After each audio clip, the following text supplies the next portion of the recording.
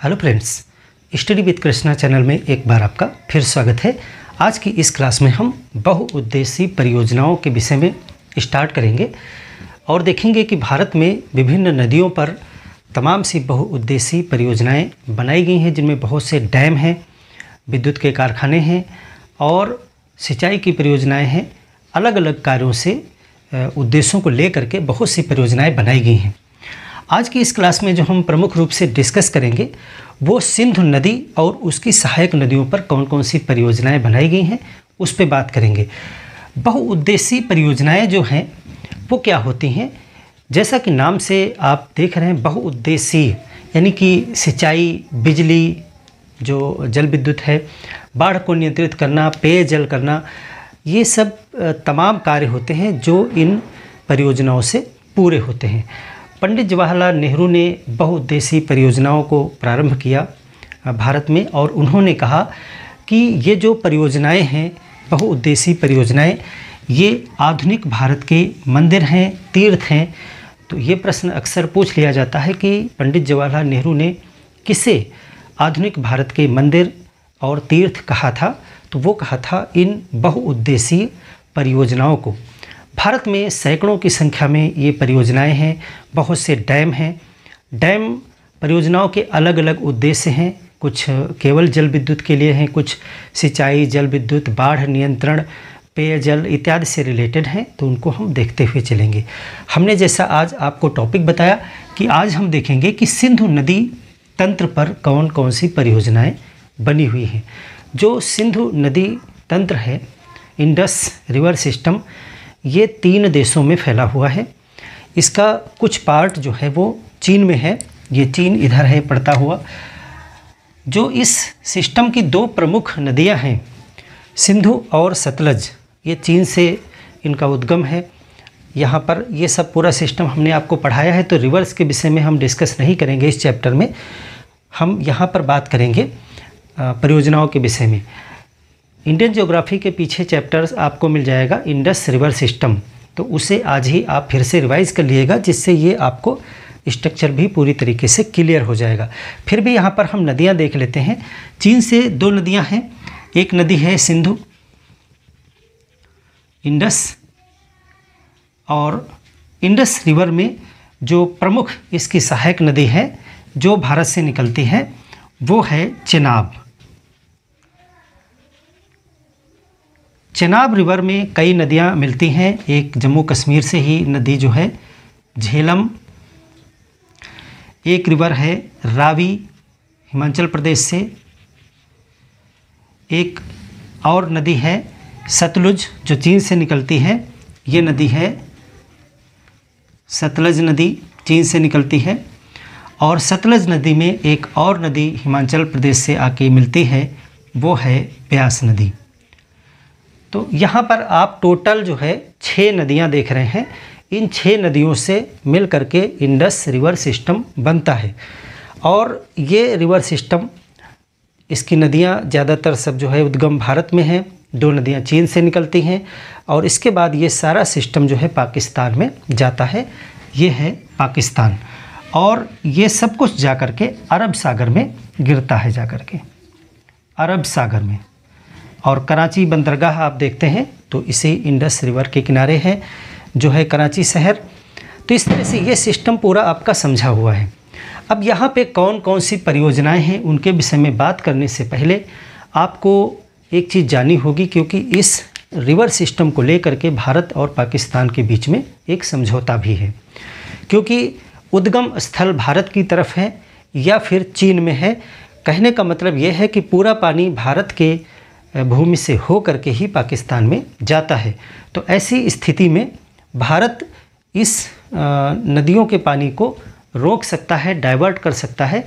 तो इन सब चीज़ों से बचने के लिए एक समझौता किया गया है। वो समझौता कहलाता है सिंधु नदी जल समझौता, जो 1960 में हुआ था। तो उसको पढ़ने से पहले हम इसी समझौते के विषय में बात कर लें, क्योंकि जब आप उस समझौते के विषय में जानेंगे, तभी आप जो है, यहाँ पर काफ़ी चीज़ों को समझ पाएँगे। तो हम समझौता देख लेते हैं, जिसको कहते हैं सिंधु जल समझौता। सिंधु नदी समझौता भी कहते हैं इसे, सिंधु जल समझौता। और ये समझौता जो है, भारत और पाकिस्तान के बीच में 1960 में हुआ था। भारत की तरफ़ से जो है, पंडित जवाहरलाल नेहरू जो हमारे प्राइम मिनिस्टर थे, पंडित जवाहरलाल नेहरू ने हस्ताक्षर किए थे और पाकिस्तान की तरफ़ से जो है, अयूब खान जो वहाँ के सेकेंड प्रेसिडेंट थे, उन्होंने हस्ताक्षर किए थे, अयूब खान। तो इन दोनों लोगों ने मिल करके ये समझौता किया था और इसमें विश्व बैंक का बहुत जो है महत्वपूर्ण योगदान था। मध्यस्थ के रूप में मीडिएटर के रूप में विश्व बैंक को रखा गया था। क्या समझौता हुआ था? समझौता इन नदियों के जल के बंटवारे को लेकर के था और जो मोटी मोटी बात है, उसमें लगभग 80 प्रतिशत पानी पे पाकिस्तान को अधिकार दिया गया था और 20 परसेंट वाटर पे जो है इंडिया को अधिकार मिला था। तो आप इसको इस तरह से कह सकते हैं कि इस समझौते के तहत भारत को कितना पानी मिला? भारत को मिलता है ट्वेंटी परसेंट। लगभग पानी। लगभग में है और वहीं पाकिस्तान को जो है, इस पूरे रिवर सिस्टम का 80 परसेंट पानी यूज़ करने का जो है अधिकार दिया गया। प्लस इसको जो है 83 करोड़ रुपये भी दिए गए थे। नहरें इत्यादि, यानी अपने वाटर मैनेजमेंट को करने के लिए उस समय इतना पैसा भी इनको उपलब्ध कराया गया था। तो ये हुआ था समझौता। अब एक्चुअल में इस समझौते में भी कुछ डीप चीज़ें हैं। सिर्फ़ 80 और 20 का बंटवारा नहीं है, इसमें नदियों के हिसाब से इसको डिवाइड किया गया है। टोटल इस सिंधु नदी तंत्र में छः नदियाँ हैं। आप देख रहे हैं मैप में छः नदियाँ हैं। इन छः नदियों को दो वर्गों में विभाजित कर दिया गया। एक को कहा गया पश्चिमी नदियाँ। एक जो है तीन नदियों को, पश्चिमी नदियाँ माना गया, जो ऊपर से आप तीन देख रहे हैं, सिंधु, झेलम और चिनाब। इन तीन नदियों को ये पश्चिम की तरफ़ मान लिया गया। इसमें कौन कौन सी तीन नदियाँ हैं? सिंधु नदी और झेलम नदी और चेनाब नदी। इसको समझना ज़रूरी है नदियों के हिसाब से डिवाइडेशन यदि आप सिर्फ़ इतना मान के चलेंगे कि सिंधु नदी का 20 परसेंट पानी भारत यूज़ कर सकता है या 80 परसेंट तो बात नहीं बनेगी। आपको नदियों के हिसाब से भी बंटवारा समझना पड़ेगा। ये पश्चिमी नदियाँ मानी गई, जिसमें तीन रिवर्स थी। इनमें कहा गया कि इसके पूरे पानी पर पाकिस्तान का हक होगा। तभी उसका 80 परसेंट वाटर बना जा करके। तो यहाँ पे, ये यहाँ पर पाकिस्तान को जो है दिया गया ये। पाकिस्तान को इस पर अधिकार दिया गया। लेकिन इसमें एक बात कही गई कि इसमें run of the river project बना करके इंडिया जो है इसको यूज़ कर सकता है। यानी कुछ इसमें अपवाद रहेंगे, वो क्या रहेंगे कि भारत जो है कौन सा प्रोजेक्ट चला सकता है? Run of the river project बना सकता है। प्रोजेक्ट बना सकता है। और बाकी जो घरेलू उपयोग हैं, पीने का पानी है, बाढ़ से संबंधित मैनेजमेंट है, ये सब कर सकते हैं। बस उसमें शर्त ये है कि रन ऑफ़ द रिवर ये टर्म आप पढ़ें run of the river type का प्रोजेक्ट होना चाहिए। इसका मतलब ये होता है कि नदी रन करती रहे, बहती रहे। यानी कि आप ऐसा कोई बहुत बड़ा डैम बना करके इसके पानी को डाइवर्ट नहीं कर सकते हैं। कल को ऐसा नहीं कर सकते हैं कि आपने जो है चेनाब को बंद कर दिया या झेलम को बंद कर दिया या सिंधु नदी को बंद कर दिया और फिर आपने इसमें से नहरें निकाल ली या बड़ा डाइवर्जन कर दिया और पानी इंडिया की तरफ़ मोड़ लिया, पाकिस्तान में पानी नहीं जाने दे रहे आप।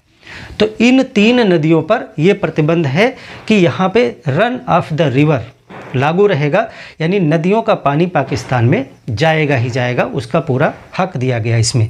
भारत ऐसे प्रोजेक्ट बना सकता है बिजली बनाने के लिए या अन्य किसी प्रयोजन के लिए, जिसमें नदियों का पानी का प्रवाह प्रवाह जो है प्रभावित न हो और आप उपयोग भी कर लें और पानी जाता रहे। तो इसमें छोटे छोटे डैम बनाए जा सकते हैं छोटी छोटी परियोजनाएँ लगाई जा सकती हैं, जिससे बिजली आप बना सकते हैं। लेकिन पानी जो है कंटिन्यू पाकिस्तान जाता रहे। तो यहाँ पर आप देखोगे जो सुरू नदी पे, झेलम पे या चिनाब पे जो डैम बनाए गए हैं, वो आकार में छोटे हैं और वो इसमें कमी ये रहती है कि जो run of the river project होते हैं चूँकि नदी का पानी आप इकट्ठा नहीं कर सकते हैं, इसीलिए लगातार पूरे वर्ष काम करेंगे कि नहीं करेंगे, इसमें सर्टेनिटी नहीं रहती है। फिर भी आप इतना कर सकते हैं। तो ये जो तीन नदियाँ, ये प्रमुख तीन नदियाँ हैं, इनका वाटर लगभग काफ़ी ज़्यादा है, इसीलिए पाकिस्तान के हिस्से में ज़्यादा पानी जाता है। दूसरे को कहा गया पूर्वी हिस्सा जो है, पूर्वी नदियाँ, जो पूरब की तरफ़ मानी गई, उसमें भी तीन रिवर हैं। आप देखें, इसके बाद में रावी, ब्यास और सतलज तीन नदियाँ बचती हैं। रावी, ब्यास और सतलज। तो इस पे जो है, पूरा हक जो है पूरा अधिकार भारत का रहेगा। आप इसके पानी को कैसे भी यूज़ कर सकते हैं। आप इस पर बड़े डैम बनाइए, नहरें बनाइए, डाइवर्जन करिए, कुछ भी करिए, ये पानी जो है आप जितना यूज़ करना चाहें, आप कर सकते हैं सौ परसेंट। तो इस तरह से ये बंटवारा किया गया है। तो यह है सिंधु जल समझौता।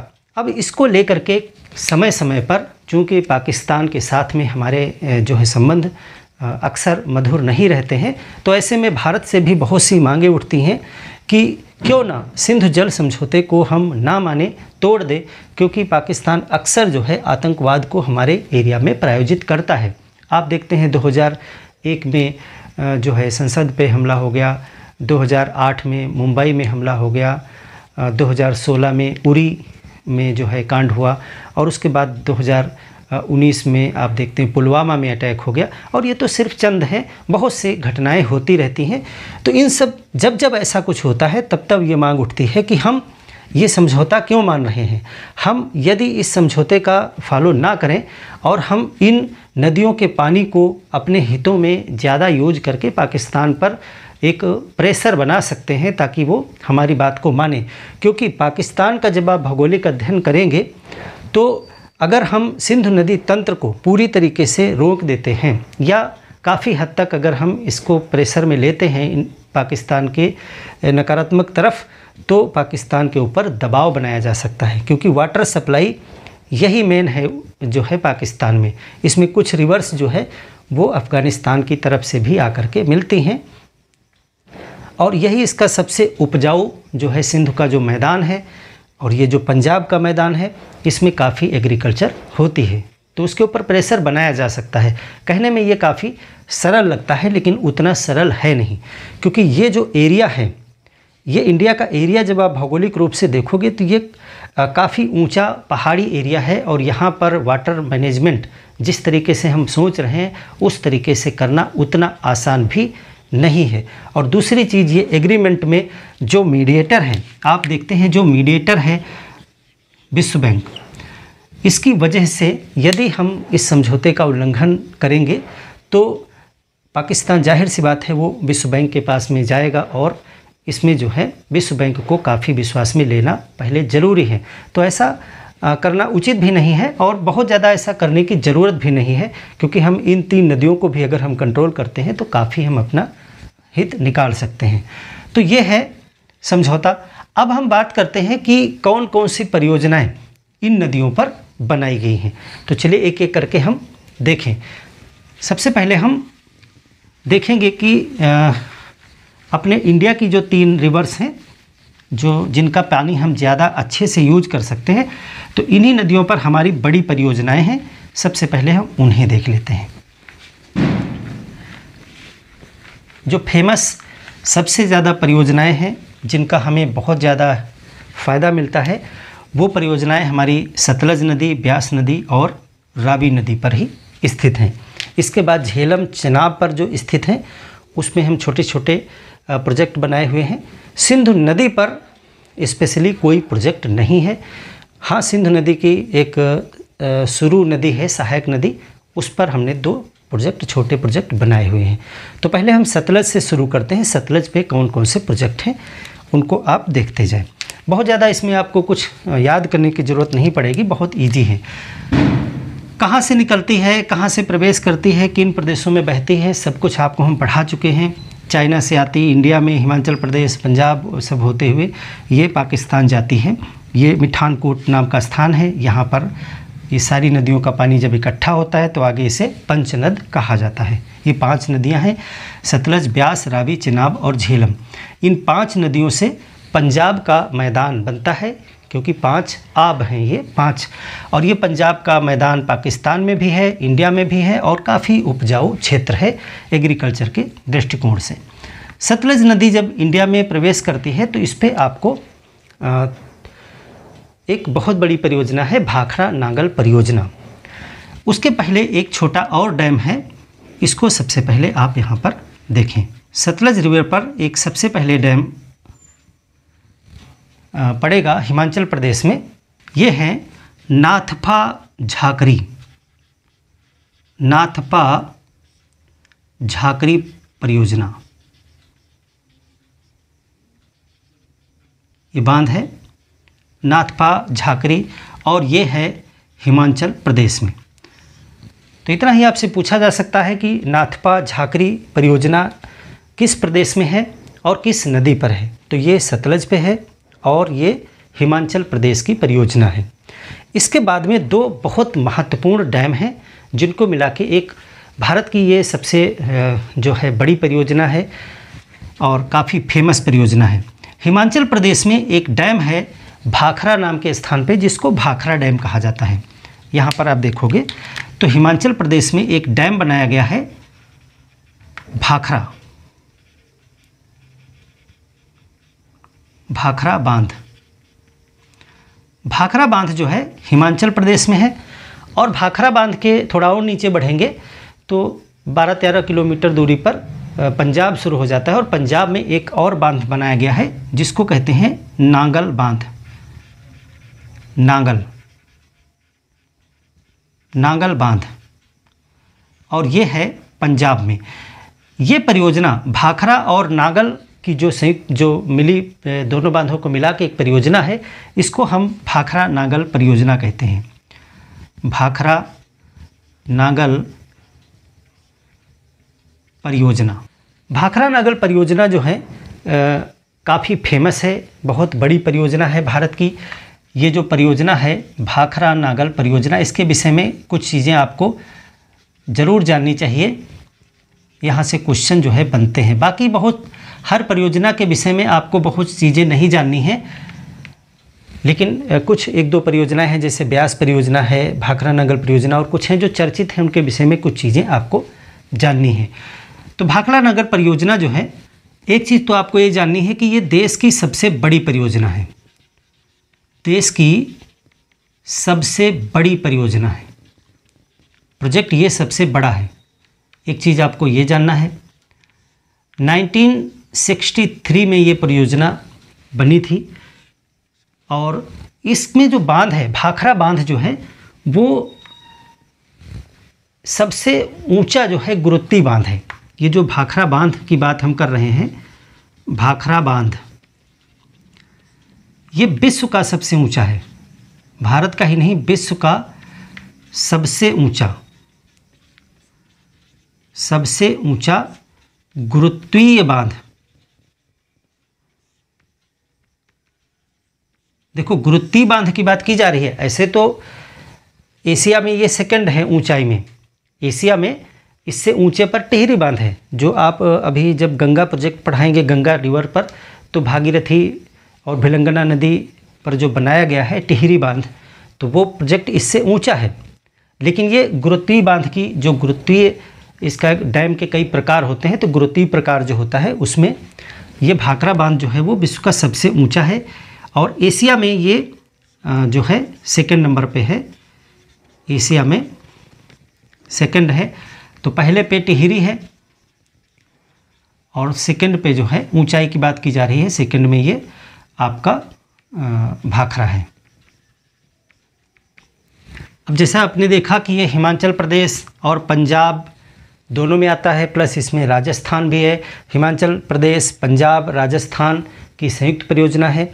इससे कौन कौन से प्रदेश लाभान्वित होते हैं तो वो आपको याद रखना है कि पंजाब तो है ही, हिमाचल प्रदेश है, इसके पास में हरियाणा है और इसका राजस्थान है और दिल्ली तक। ये कवर करता है तो ये सिंचाई और जल विद्युत दोनों से रिलेटेड है और इस परियोजना का लाभ हिमाचल प्रदेश, पंजाब, हरियाणा, राजस्थान और दिल्ली कौन कौन से हमने बताए? हिमाचल प्रदेश, पंजाब, हरियाणा और दिल्ली, ये सभी प्रदेशों को जो है, और प्लस राजस्थान, इन सब प्रदेशों को इसका फ़ायदा मिलता है। तो भाखड़ा नागल परियोजना कहाँ है? बेसिकली इसको पंजाब में माना जाता है हिमाचल प्रदेश और पंजाब। हिमाचल प्रदेश में भाखरा बाँध है और पंजाब में नागल बाँध है। ये जो भाखरा बाँध है, जब भी कभी कोई बड़ा डैम बनता है तो उस डैम के पीछे एक बहुत बड़ा जलाशय भी बन जाता है। तो यहाँ पे जो है जो जलाशय बना है भाखड़ा के पीछे। भाखरा बाँध भाखरा बाँध के पीछे जो जलाशय बन जाता है, पानी रोकेंगे तो झील बनेगी, उसको कहते हैं गोविंद सागर। हिमाचल प्रदेश में है। गुरु गोविंद सिंह जो थे, उन्हीं के नाम पर इसका नाम रखा गया है गोविंद सागर। यहाँ पे पड़ेगा आपका हिमाचल प्रदेश में, यहाँ पर जल भरा हो जाएगा। तो ये गोविंद सागर जो है, यहाँ पर है, गोविंद सागर। तो ये परियोजनाएँ होगी ना जो है नाथपा झाकरी और भाखरा नांगल परियोजना किस नदी पर है? सतलुज नदी पर है। अब ये ब्यास जो रिवर है, ब्यास रिवर पर ब्यास परियोजना बनाई गई है। इसमें हमें मुख्य रूप से जो है दो तीन बांधों के नाम आपको जानने हैं, कहाँ पर स्थित हैं, किससे रिलेटेड हैं, वो आप देखें। यहाँ पर आपका एक डैम है, जो ब्यास ब्यास और सतलज के संगम पे बनाया गया है यहाँ पर। ये है हर के बैराज। हर के बैराज। हर के बैराज जो है, वो आपका यहाँ पे संगम पे, जहाँ पे सतलज और ब्यास आकर के मिलती हैं, वहाँ पे बनाया गया है। पंजाब में और यहाँ से सिंचाई के लिए। सिंचाई से रिलेटेड ये बैराज है। यहाँ से सिंचाई के लिए नहरें निकाली गई हैं और सबसे प्रमुख जो नहर आप जानते हैं, वो है यहाँ से निकाली गई इंदिरा नहर। हर के बैराज से इंदिरा नहर निकाली गई। कौन सी? इंदिरा गांधी नहर। इंदिरा गांधी नहर। यहाँ से निकाली गई है, जो राजस्थान जाती है। राजस्थान तक जाती है। विश्व की सबसे लंबी नहर है, ढकी हुई नहर है, और काफ़ी राजस्थान के काफ़ी एरिया को ये जो है पानी उपलब्ध कराती है। तो हर के बैराज से इन क्वेश्चन आ सकता है कि इंदिरा नहर कहाँ से निकाली गई है? किस नदी से, किस बाँध से, किस स्टेट से? काफ़ी क्वेश्चन बन सकते हैं और किस स्टेट को सिंचाई प्रोवाइड कराती है तो राजस्थान तक जाती है ये, राजस्थान में भी ये सिंचाई प्रोवाइड कराती है।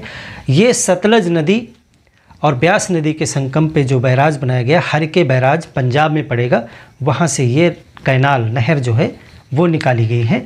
तो ये है हर के बैराज। ब्यास पर और दो डैम हैं। और दो कौन से डैम हैं? एक डैम आपको यहाँ पर मिलेगा, वो है पोंग डैम। पोंग। पोंग बाँध। पोंग बाँध जो है हिमाचल प्रदेश में है और इसके और जब आगे बढ़ेंगे ऊपर तो एक और आपको डैम मिलेगा, वो भी हिमाचल प्रदेश में पड़ेगा और उसका नाम है पडोह बाँध। पडोह। पडोह या देहर बाँध। ये ब्यास नदी पर है, दो ये ब्यास परियोजना जो है, ये ब्यास परियोजना कही जाती है। ब्यास परियोजना विद्युत के लिए परियोजना है और इसमें जो है हिमाचल प्रदेश में ये बनी हुई है। हिमाचल प्रदेश और इसमें राजस्थान को बिजली सप्लाई की जाती है। इन दोनों जगह से राजस्थान को भी बिजली सप्लाई की जाती है। पंजाब है, राजस्थान है, इनको इसमें शेयर मिलता है। हरियाणा है, यहाँ पर। यहाँ भी हरियाणा आपको हमने बताया था। तो ये दो बाँध आपको याद रखने हैं जो ब्यास परियोजना के अंतर्गत आते हैं। कौन सा? पडोह या देहर। पडोह या देहर बाँध और पोंग बाँध। ये दोनों किस नदी पर हैं? ये हैं ब्यास नदी पर और ये दोनों ही हिमाचल प्रदेश में पड़ते हैं। और राजस्थान तक इसकी बिजली सप्लाई होती है। याद रखिएगा, इस परियोजना में राजस्थान भी हिस्सेदार है ब्यास परियोजना में, ब्यास रिवर में। तो ये जो पोंग बाँध है, इसके पीछे एक जलाशय है, जिसको रामसर साइट का भी दर्जा दिया गया है। तो वो भी आपको याद रखना है। पोंग बाँध के पीछे जो जलाशय है, वो आर्द्र भूमि के तहत आता है वेटलैंड के तहत आता है, और उसे रामसर साइट का दर्जा दिया गया है। इसको आप नोट डाउन भी कर लीजिएगा। यहाँ पोंग के पास में जो जलाशय बनेगा, ये बनेगा पोंग जलाशय। पोंग जलाशय। और ये रामसर साइट है।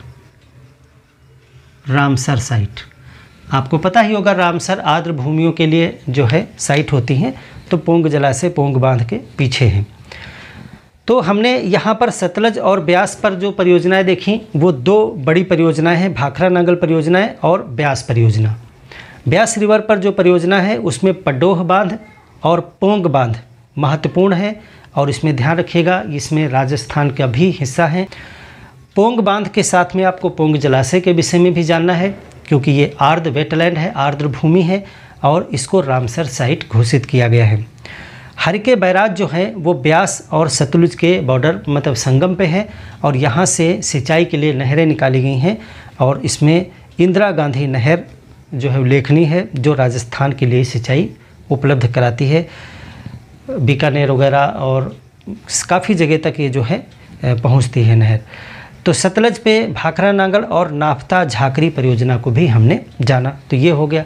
अब हम बात करें रावी नदी पर। तो रावी नदी पर आप देखोगे तो रावी नदी पर आपको दो दो जो है परियोजनाएँ जाननी हैं। दो डैम हैं। एक तो आपको पहले यहीं पर एक मिलेगी आपको चमेरी।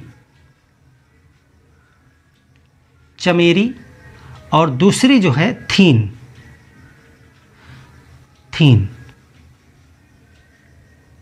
थीन। रावी नदी पर दो परियोजनाएँ आपको याद रखनी है। चमेरी परियोजना आपकी जो है वो पड़ेगी हिमाचल प्रदेश में और थीन जो है वो पंजाब में है। चमेरी परियोजना किस नदी पर है, किस स्टेट में है?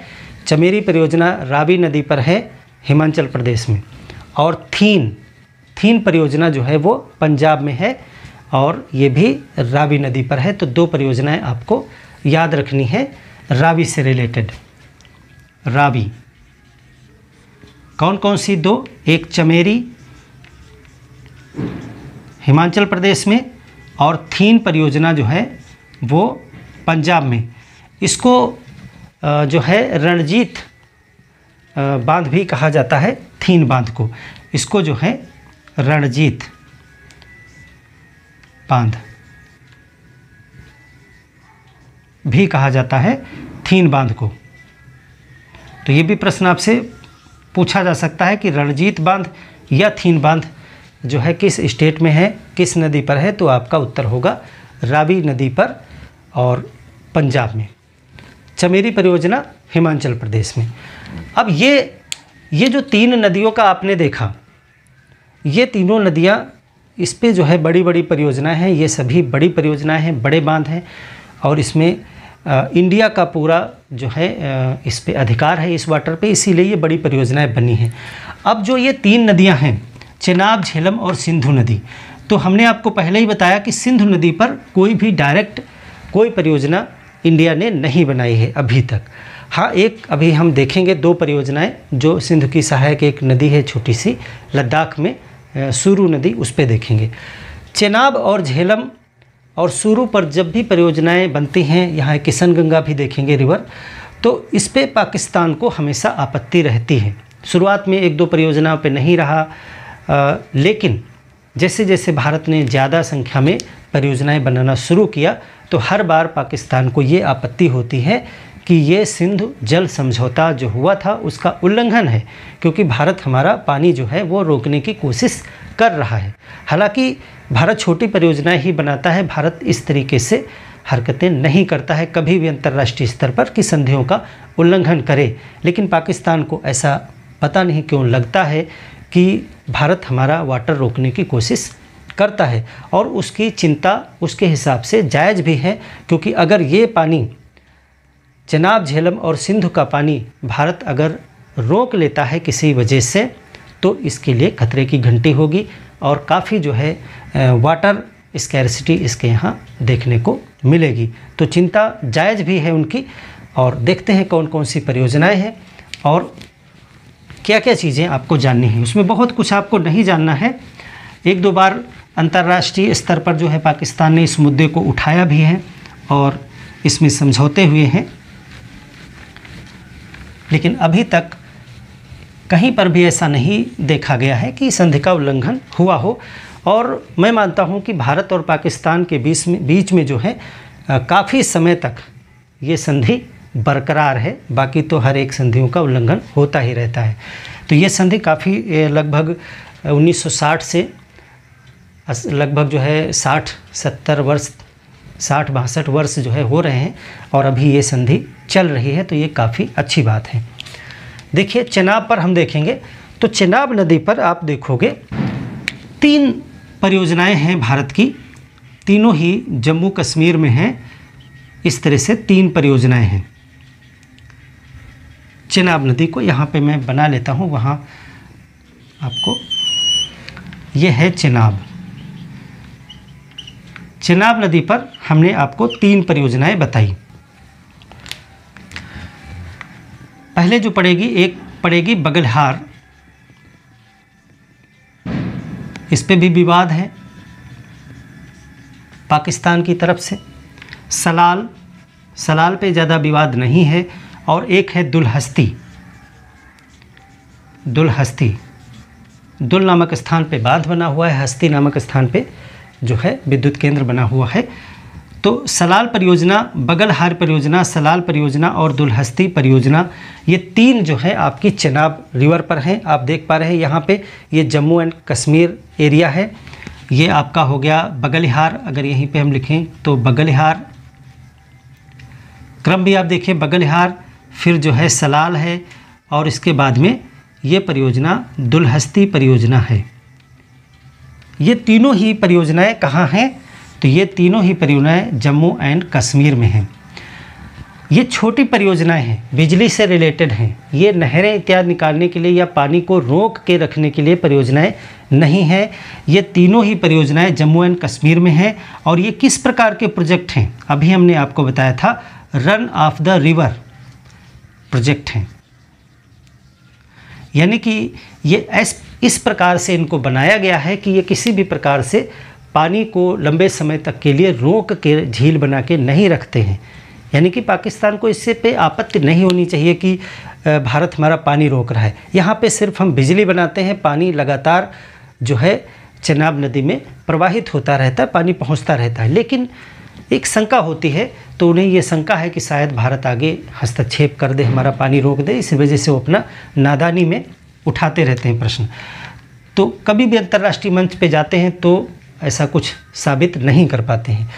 क्योंकि भारत को हमने अभी सिंधु नदी समझौते में बताया था कि भारत को इन तीन नदियों पर जो है अपनी इलेक्ट्रिक हाइड्रो इलेक्ट्रिसिटी प्रोजेक्ट लगाने की अनुमति है। यानी कि नदी का पानी नहीं रुकेगा और हम प्रोजेक्ट लगा सकते हैं।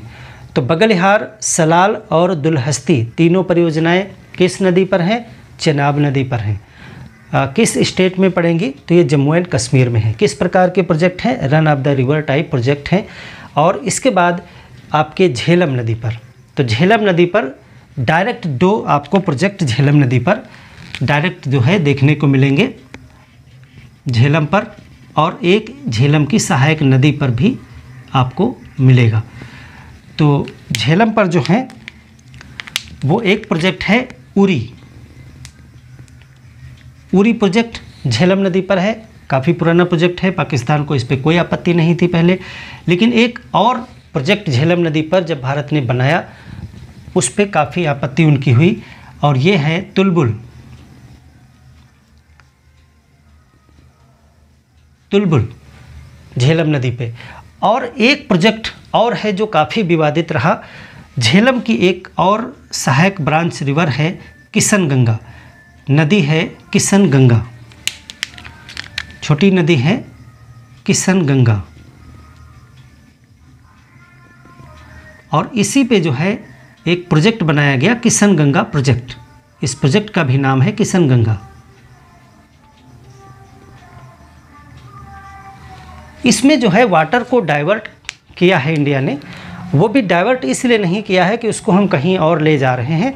सिर्फ़ एक ब्रांच का पानी डाइवर्ट करके दूसरी ब्रांच में लाया गया है और वो इसी में बह रहा है तो सिर्फ़ इतना ही डाइवर्जन है, बाकी नहीं है। तो किशन गंगा प्रोजेक्ट किस नदी पर है? किशन गंगा नदी पे है और किशन गंगा जो है वो झेलम की एक छोटी सहायक नदी है। बाकी जो है, उरी और तुलबुल परियोजनाएँ जो हैं, वो झेलम पर डायरेक्ट बनी हुई हैं। ये भी सभी प्रोजेक्ट जो हैं, run of the river system पर बेस्ड हैं।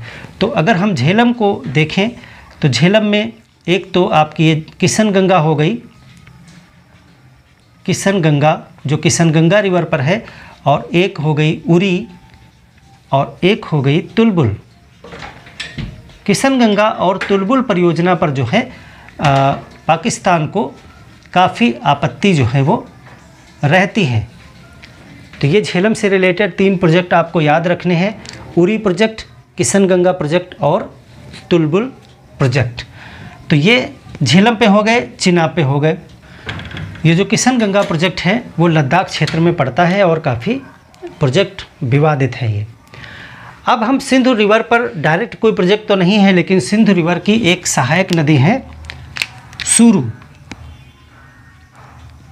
ये नदी है सूरू नदी।